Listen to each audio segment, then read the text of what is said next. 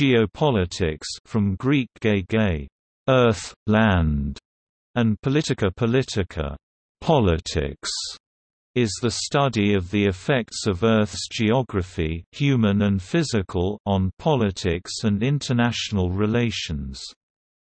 While geopolitics usually refers to countries and relations between them, it may also focus on two other kinds of states, de facto independent states with limited international recognition and, relations between sub-national geopolitical entities, such as the federated states that make up a federation, confederation or a quasi-federal system. At the level of international relations, geopolitics is a method of studying foreign policy to understand, explain and predict international political behavior through geographical variables. These include area studies, climate, topography, demography, natural resources, and applied science of the region being evaluated. Geopolitics focuses on political power linked to geographic space. In particular, territorial waters and land territory in correlation with diplomatic history. Topics of geopolitics include relations between the interests of international political actors and interests focused within an area, a space, or a geographical element, relations which create a geopolitical system.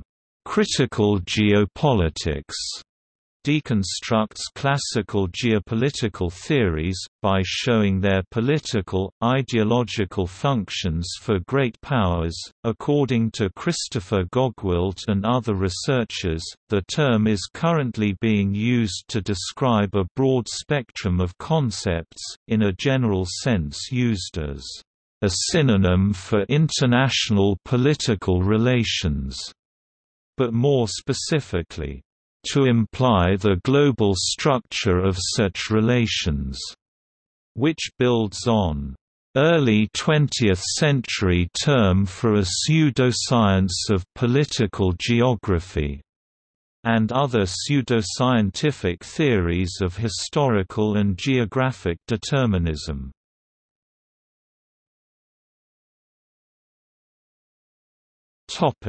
United States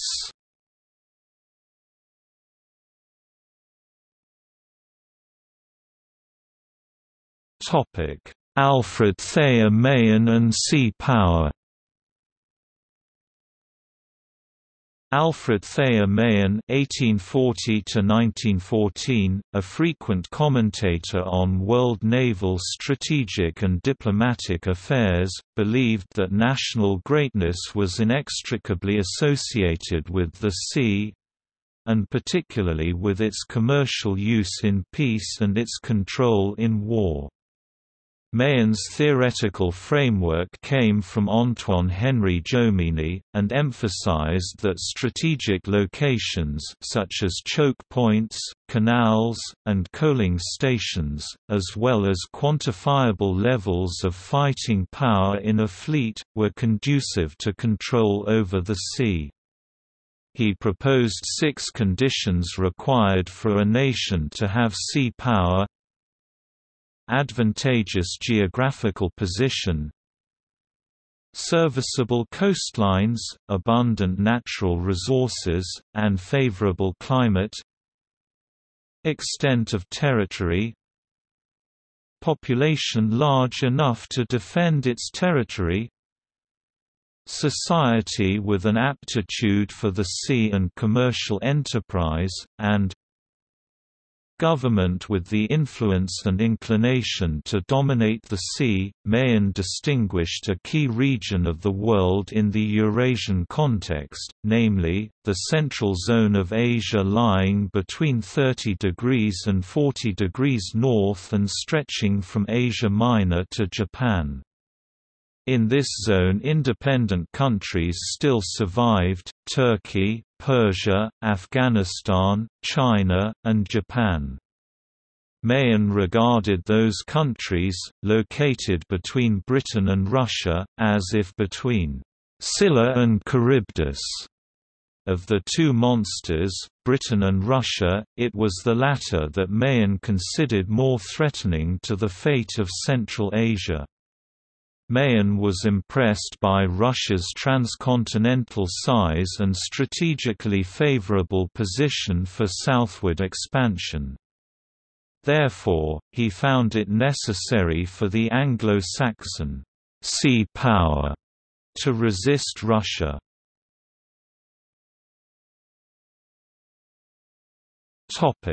Homer Lea Homer Lea in The Day of the Saxon 1912, described that the entire Anglo-Saxon race faced a threat from German, Teuton, Russian, Slav, and Japanese expansionism, the «fatal» relationship of Russia, Japan, and Germany has now assumed through the urgency of natural forces a coalition directed against the survival of Saxon supremacy. It is a dreadful Dreibund. Lea believed that while Japan moved against Far East and Russia against India, the Germans would strike at England, the centre of the British Empire. He thought the Anglo-Saxons faced certain disaster from their militant opponents.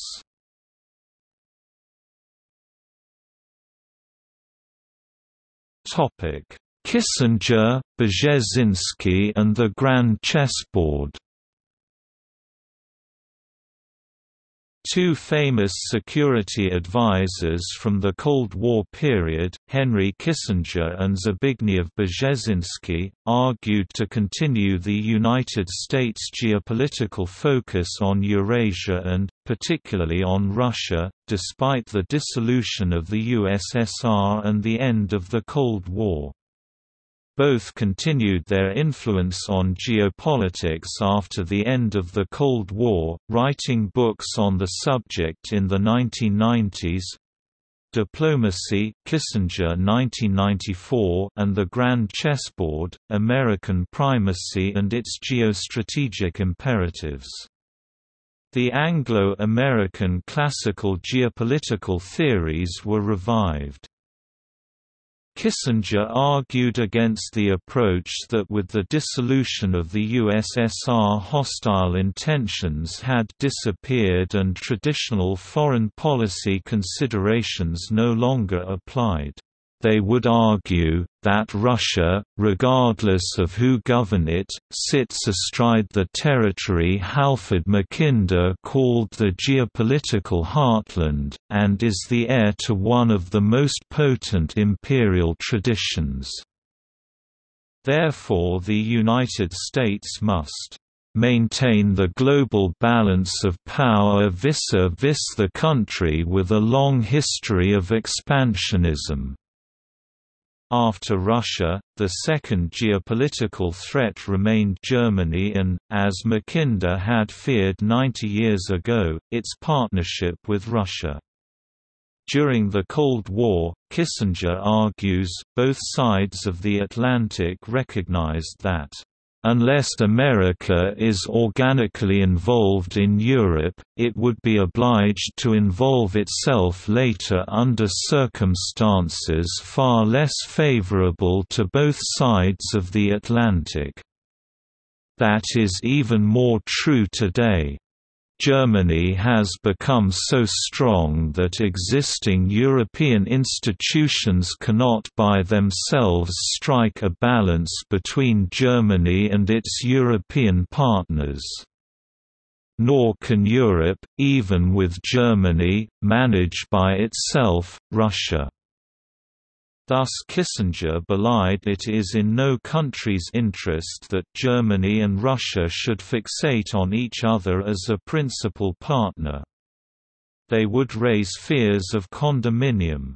Without America, Britain and France cannot cope with Germany and Russia, and Without Europe, America could turn, into an island off the shores of Eurasia. Spykman's vision of Eurasia was strongly confirmed. Geopolitically, America is an island off the shores of the large landmass of Eurasia, whose resources and population far exceed those of the United States. The domination by a single power of either of Eurasia's two principal spheres—Europe and Asia, remains a good definition of strategic danger for America. Cold War or no Cold War for such a grouping would have the capacity to outstrip America economically and, in the end, militarily. That danger would have to be resisted even were the dominant power apparently benevolent, for if the intentions ever changed, America would find itself with a grossly diminished capacity for effective resistance and a growing inability to shape events. The main interest of the American leaders is maintaining the balance of power in Eurasia. Having converted from ideologist into geopolitician, Kissinger in retrospect interpreted the Cold War in geopolitical terms an approach not characteristic for his works during the Cold War. Now, however, he stressed on the beginning of the Cold War. The objective of moral opposition to communism had merged with the geopolitical task of containing the Soviet expansion. Nixon, he added, was geopolitical rather than ideological Cold Warrior. Three years after Kissinger's diplomacy, Brzezinski followed suit, launching the Grand Chessboard, American Primacy and its Geostrategic Imperatives and, after three more years, the Geostrategic Triad, living with China, Europe, and Russia. The Grand Chessboard described the American triumph in the Cold War in terms of control over Eurasia, for the first time ever, a non-Eurasian power had emerged as a key arbiter of Eurasian power relations. The book states its purpose the formulation of a comprehensive and integrated Eurasian geostrategy is therefore the purpose of this book. Although the power configuration underwent a revolutionary change, Brzezinski confirmed three years later, Eurasia was still a megacontinent. Like Spykman, Brzezinski acknowledges that Cumulatively, Eurasia's power vastly overshadows America's. In classical Spykman terms, Brzezinski formalized his geostrategic chessboard doctrine of Eurasia, which aims to prevent the unification of this megacontinent. Europe and Asia are politically and economically powerful. It follows that, American foreign policy must, employ its influence in Eurasia in a manner that creates a stable continental equilibrium, with the United States as the political arbiter. Eurasia is thus the chessboard on which the struggle for global primacy continues to be played, and that struggle involves geostrategy, the strategic management of geopolitical interests. But in the meantime it is imperative that no Eurasian challenger emerges, capable of dominating Eurasia and thus also of challenging America. For America the chief geopolitical prize is Eurasia, and America's global primacy is directly dependent on how long and how effectively its preponderance on the Eurasian continent is sustained.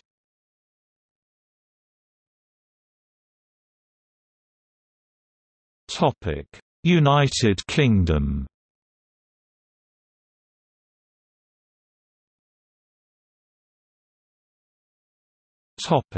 Emil Reich The Austro-Hungarian historian Emil Reich (1854–1910) is considered to be the first having coined the acceptance in English as early as 1902 and later published in England in 1904 in his book Foundations of Modern Europe. Topic Mackinder and the Heartland theory Sir Halford Mackinder's Heartland theory initially received little attention outside geography, but some thinkers would claim that it subsequently influenced the foreign policies of world powers. Those scholars who look to Mackinder through critical lenses accept him as an organic strategist who tried to build a foreign policy vision for Britain with his Eurocentric analysis of historical geography. His formulation of the Heartland theory was set out in his article entitled The Geographical Pivot of History, published in England in 1904. Mackinder's doctrine of geopolitics involved concepts diametrically opposed to the notion of Alfred Thayer Mahan about the significance of navies he coined the term sea power in world conflict. He saw navy as a basis of Columbian-era empire roughly from 1492 to the 19th century, and predicted the 20th century to be domain of land power. The Heartland theory hypothesized a huge empire being brought into existence in the heartland, which wouldn't need to use coastal or transoceanic transport to remain coherent. The basic notions of Mackinder's doctrine involve considering the geography of the Earth as being divided into two sections, the world island or core, comprising Eurasia and Africa, and the peripheral islands, including the Americas, Australia, Japan, the British Isles, and Oceania. Not only was the periphery noticeably smaller than the world island, it necessarily required much sea transport to function at the technological level of the world island, which contained sufficient natural resources for a developed economy. Mackinder posited that the industrial centers of the periphery were necessarily located in widely separated locations. The world island could send its navy to destroy each one of them in turn, and could locate its own industries in a region further inland than the periphery so they would have a longer struggle reaching them, and would face a well-stocked industrial bastion. Mackinder called this region the Heartland. It essentially comprised Central and Eastern Europe, Ukraine, Western Russia, and Mitteleuropa. The heartland contained the grain reserves of Ukraine, and many other natural resources. Mackinder's notion of geopolitics was summed up when he said, who rules Central and Eastern Europe commands the heartland. Who rules the heartland commands the world island. Who rules the world island commands the world. Nicholas J. Spykman is both a follower and critic of geostrategists Alfred Mahan, and Halford Mackinder. His work is based on assumptions similar to Mackinder's, including the unity of world politics and the world sea. He extends this to include the unity of the air. Spykman adopts Mackinder's divisions of the world, renaming some, the Heartland, the Rimland analogous to Mackinder's inner or marginal crescent also an intermediate region, lying between the Heartland and the marginal sea powers, and the offshore islands and continents Mackinder's outer or insular crescent. Under Spykman's theory, a Rimland separates the Heartland from ports that are usable throughout the year that is, not frozen up during winter. Spykman suggested this required that attempts by heartland nations particularly Russia to conquer ports in the Rimland must be prevented. Spykman modified Mackinder's formula on the relationship between the heartland and the rimland or the inner crescent, claiming that who controls the rimland rules Eurasia. Who rules Eurasia controls the destinies of the world. This theory can be traced in the origins of containment, a U.S. policy on preventing the spread of Soviet influence after World War II see also Truman Doctrine. Another famous follower of Mackinder was Karl Haushofer who called Mackinder's geographical pivot of history a genius scientific tractate. He commented on it, Never have I seen anything greater than those few pages of geopolitical masterwork. Mackinder located his pivot, in the words of Haushofer, on one of the first solid, geopolitically and geographically irreproachable maps, presented to one of the earliest scientific forums of the planet, the Royal Geographic Society in London. Haushofer adopted both Mackinder's Heartland thesis and his view of the Russian-German alliance, powers that Mackinder saw as the major contenders for control of Eurasia in the 20th century.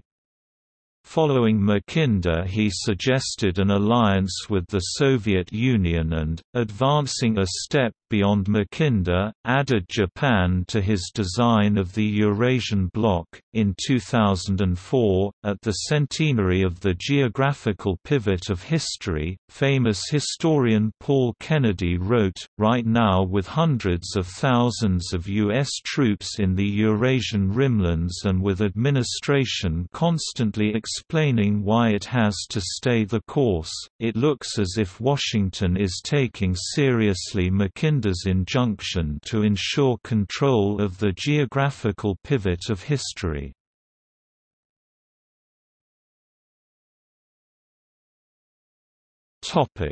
Germany German geopolitik is characterized by the belief that life of states being similar to those of human beings and animals is shaped by scientific determinism and social Darwinism. German geopolitics develops the concept of Lebensraum living space that is thought to be necessary to the development of a nation like a favorable natural environment would be for animals.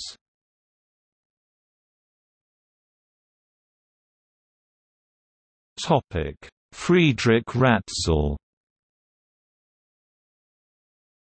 Friedrich Ratzel (1844–1904), influenced by thinkers such as Darwin and zoologist Ernst Heinrich Haeckel, contributed to geopolitik by the expansion on the biological conception of geography, without a static conception of borders positing that states are organic and growing, with borders representing only a temporary stop in their movement. He held that the expanse of a state's borders is a reflection of the health of the nation meaning that static countries are in decline.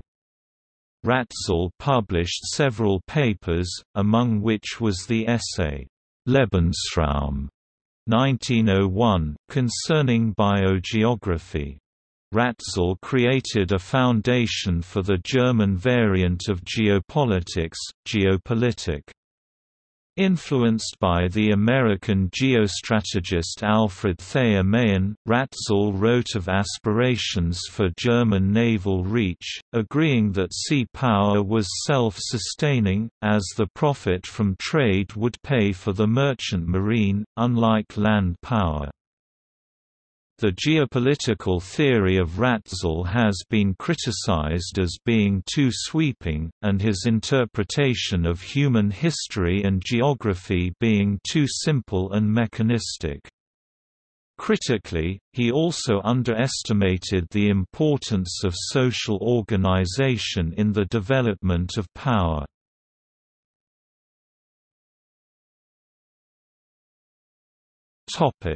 The association of German geopolitik with Nazism After World War I, the thoughts of Rudolf Kjellén and Ratzel were picked up and extended by a number of German authors such as Karl Haushofer (1869–1946), Erich Obst, Hermann Lautensack, and Otto Maull. In 1923, Karl Haushofer founded the Zeitschrift für Geopolitik Journal for Geopolitics, which was later used in the propaganda of Nazi Germany. The key concepts of Haushofer's geopolitik were Lebensraum, autarky, pan-regions, and organic borders. States have, Haushofer argued, an undeniable right to seek natural borders which would guarantee autarky. Haushofer's influence within the Nazi Party has recently been challenged, given that Haushofer failed to incorporate the Nazis' racial ideology into his work.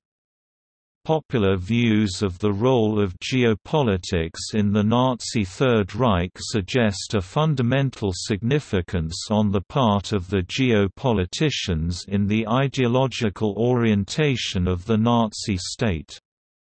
Bassin 1987 reveals that these popular views are in important ways misleading and incorrect. Despite the numerous similarities and affinities between the two doctrines, geopolitics was always held suspect by the National Socialist ideologists. This was understandable, for the underlying philosophical orientation of geopolitics did not comply with that of National Socialism. Geopolitics shared Ratzel's scientific materialism and geographic determinism, and held that human society was determined by external influences, in the face of which qualities held innately by individuals or groups were of reduced or no significance. National Socialism rejected in principle both materialism and determinism and also elevated innate human qualities, in the form of a hypothesized racial character, to the factor of greatest significance in the constitution of human society. These differences led after 1933 to friction and ultimately to open denunciation of geopolitics by Nazi ideologues. Nevertheless, German geopolitik was discredited by its use in Nazi expansionist policy of World War II and has never achieved standing comparable to the pre-war period. The resultant negative association, particularly in U.S. academic circles, between classical geopolitics and Nazi or imperialist ideology, is based on loose justifications. This has been observed in particular by critics of contemporary academic geography, and proponents of a neo-classical geopolitics in particular. These include Haverluk et al., who argue that the stigmatization of geopolitics in academia is unhelpful as geopolitics as a field of positivist inquiry maintains potential in researching and resolving topical, often politicized issues such as conflict resolution and prevention, and mitigating climate change.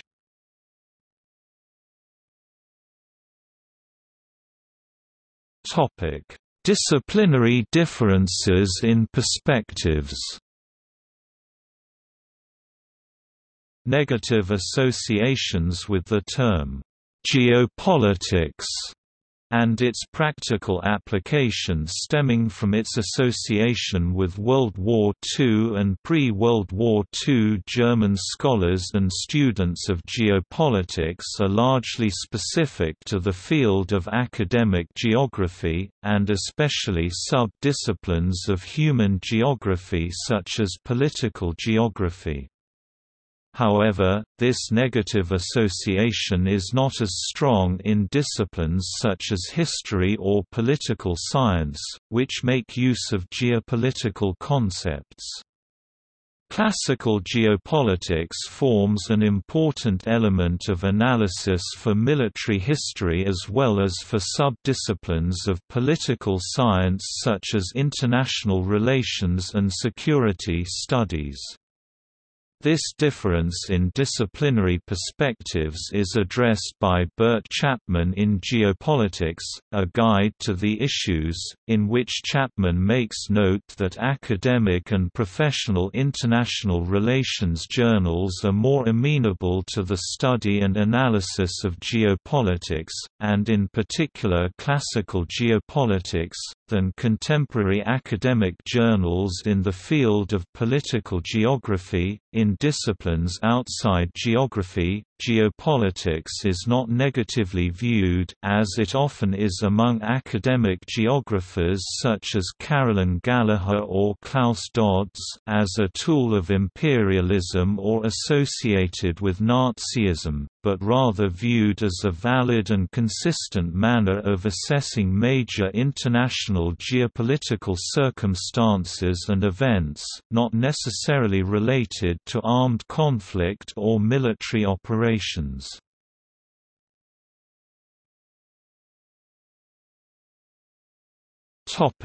France French geopolitical doctrines broadly opposed to German geopolitik and reject the idea of a fixed geography. French geography is focused on the evolution of polymorphic territories being the result of mankind's actions.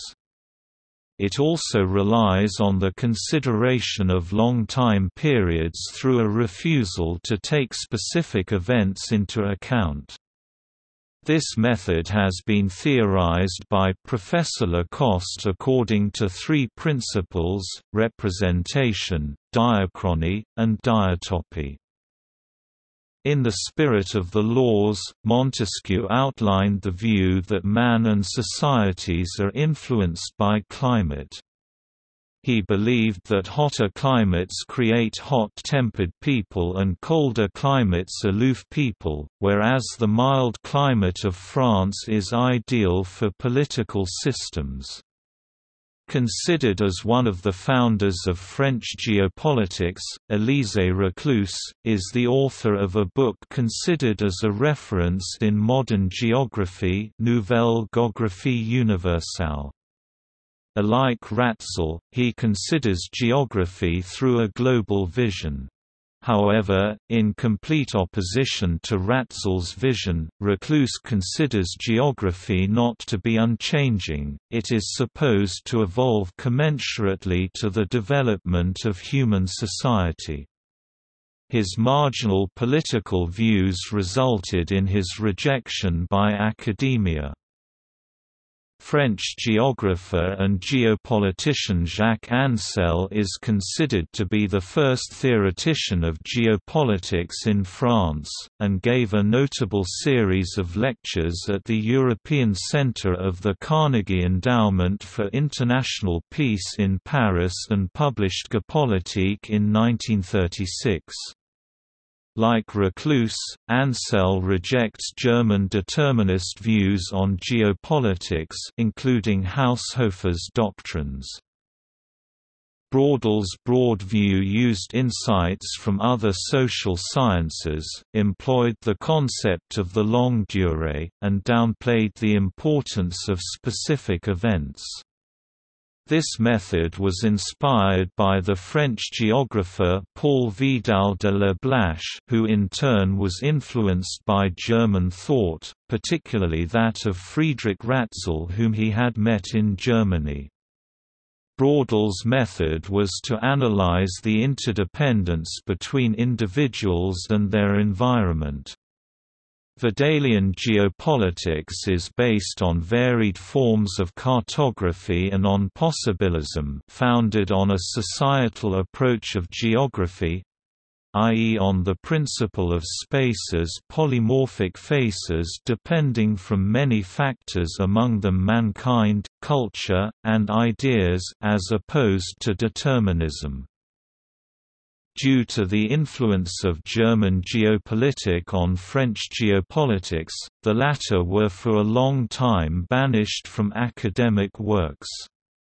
In the mid-1970s, Yves Lacoste, a French geographer who was directly inspired by Ancel, Braudel and Vidal de la Blache, wrote La Géographie, California Cert de bord et faire la guerre Geography First Use is War in 1976. This book, which is very famous in France, symbolizes the birth of this new school of geopolitics if not so far the first French school of geopolitics as Ancel was very isolated in the 1930s to 40s initially linked with Communist Party evolved to a less liberal approach.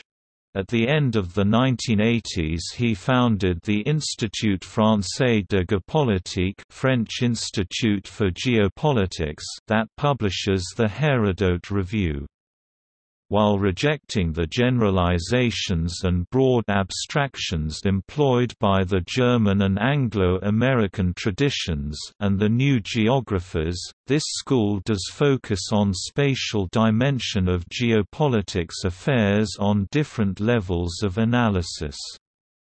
This approach emphasizes the importance of multi-level or multi-scales analysis and maps at the opposite of critical geopolitics which avoid such tools. Lacoste proposed that every conflict both local or global can be considered from a perspective grounded in three assumptions representation, each group or individuals is the product of an education and is characterized by specific representations of the world or others groups or individuals. Thus, basic societal beliefs are grounded in their ethnicity or specific location. The study of representation is a common point with the more contemporary critical geopolitics. Both are connected with the work of Henri Lefebvre La Production de l'Espace, first published in 1974 Diachrony. Conducting an historical analysis confronting long periods and short periods as the prominent French historian Fernand Braudel suggested. Diatopy, conducting a cartographic survey through a multiscale mapping, connected with this stream, and former member of Hérodote editorial board, the French geographer Michel Foucher developed a long-term analysis of international borders. He coined various neologism among them, horogenesis, neologism that describes the concept of studying the birth of borders, dyad border shared by two neighboring states for instance U.S. territory has two terrestrial dyades, one with Canada and one with Mexico. The main book of this searcher, Fronts et Frontières, France and Borders first published in 1991, without equivalent remains as of yet untranslated in English. Michel Foucher is an expert of the African Union for Borders Affairs. More or less connected with this school, Stéphane Rosière can be quoted as the editor-in-chief of the online journal L'Espace Politique. This journal created in 2007 became the most prominent French journal of political geography and geopolitics with Hérodote. a much more conservative stream is personified by François Thual. Thual was a French expert in geopolitics, and a former official of the Ministry of Civil Defense. Thual taught geopolitics of the religions at the French War College, and has written 30 books devoted mainly to geopolitical method and its application to various parts of the world. He is particularly interested in the Orthodox, Shiite, and Buddhist religions, and in troubled regions like the Caucasus, connected with F. Thual, Aymeric Chauprade, former professor of geopolitics at the French War College and now member of the extreme right party, Front National, subscribes to a supposed new French school of geopolitics which advocates above all a return to realpolitik and «clash of civilization» Huntington. The thought of this school is expressed through the French Review of Geopolitics headed by Chauprade and the International Academy of Geopolitics. Chauprade is a supporter of a Europe of nations, he advocates a European Union excluding Turkey, and a policy of compromise with Russia in the frame of a Eurasian alliance which is en vogue among European extreme right politicists and supports the idea of a multipolar world, including a balanced relationship between China and the US, French philosopher Michel Foucault's dispositif introduced for the purpose of biopolitical research was also adopted in the field of geopolitical thought where it now plays a central role.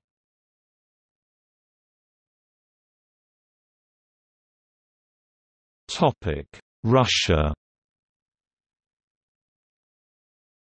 In the 1990s a senior researcher at the Institute of Philosophy, Russian Academy of Sciences of the Russian Academy of Sciences, Vadim Tsymbursky (1957–2009), coined the term "island Russia" and developed the "Great Limitrophy" concept. Colonel General Leonid Ivashov retired, a Russian geopolitics specialist of the early 21st century, headed the Academy of Geopolitical Problems Russian, Akademia Geopoliticheski Problem which analyzes the international and domestic situations and develops geopolitical doctrine. Earlier, Colonel General Leonid Ivashov headed the main Directorate for International Military Cooperation of the Ministry of Defense of the Russian Federation.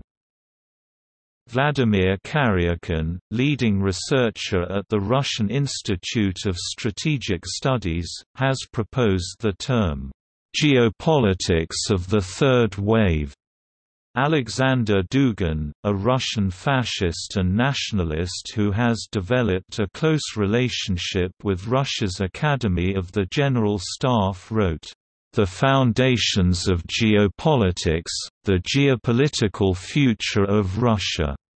in 1997, which has had a large influence within the Russian military, police, and foreign policy elites.